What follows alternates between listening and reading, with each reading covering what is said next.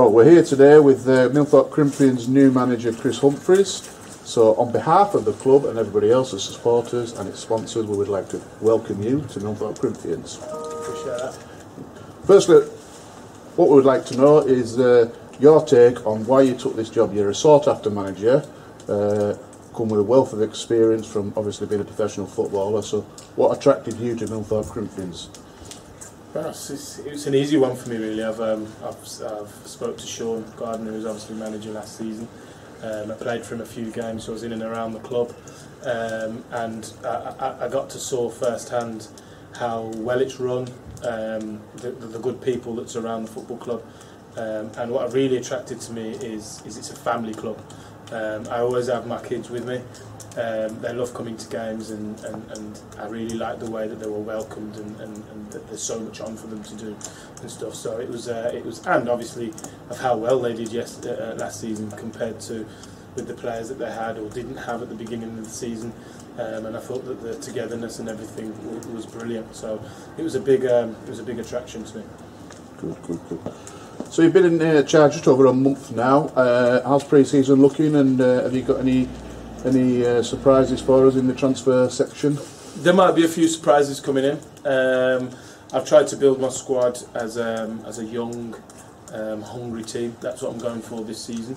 Um, so we are ranging between 16 to, to 19, 22. And then obviously we've got your likes of your experienced players of Sean, Tomo, Tino, um, Dan Hallam those sort of players that are going to come in and, and um, help the young lads and have that bit of experience around the, the dressing room with those with those lads. But we are going to go young this year. Um, it is for a reason, um, and I just believe that that, that that that young players want to play for the football club. Um, not for the money, so we, we're going to go. We're going to go with that sort of that sort of approach. Brilliant. Uh, as you know, this club, it's been in the Premier League, the West Lancs before. Yeah. Uh, They're looking to establish themselves as a Premier League, West Lancs Premier League side. Uh, we managed to survive last year through the skin of our teeth.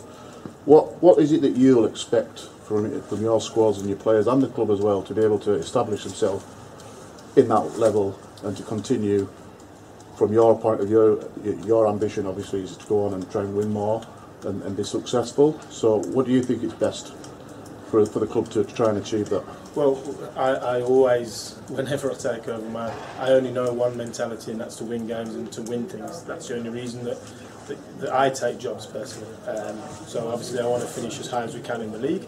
Um, again, like I said, we've gone young, so there are inexperienced, but again, there's experienced players in there with them, so there's there's no excuses from my side of it.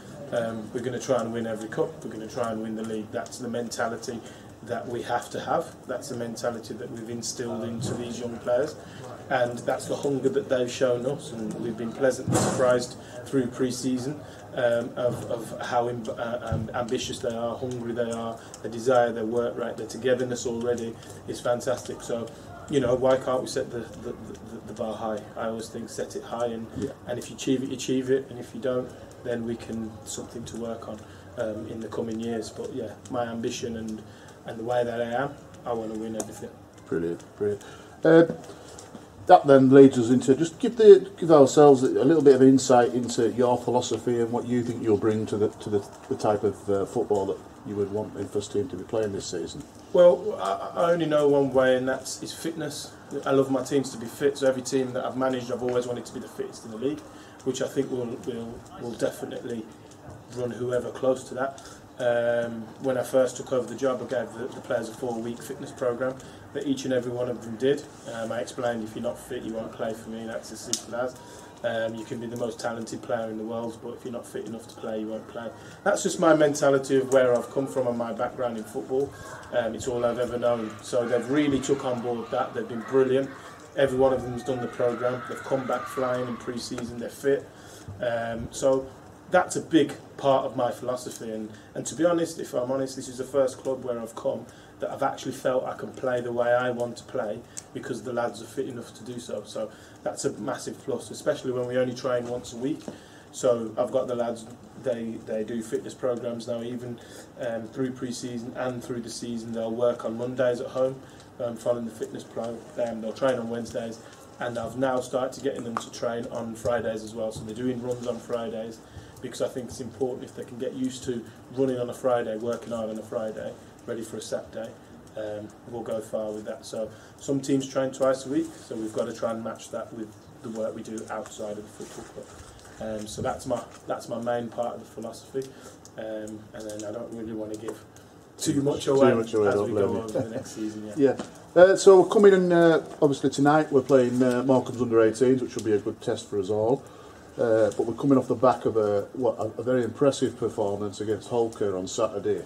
Must have been pleasing for yourselves to see the fruits of your work from the training being applied onto the pitch because it was quite an impressive, uh, impressive game from every single person on that pitch. So it must have been pleasing for you to see your weren't kicking in now. Yeah, a, th- a thousand percent. And, and what I've said to them, and explained to the lads is, it's no disrespect to them, but we're not um, a Barcelona or a Man City where we can just turn up and, and we're going to win games. We are a team, like I've said, a young, hungry team that is going to have to work hard to get a result, and um, we're trying to instill that into them.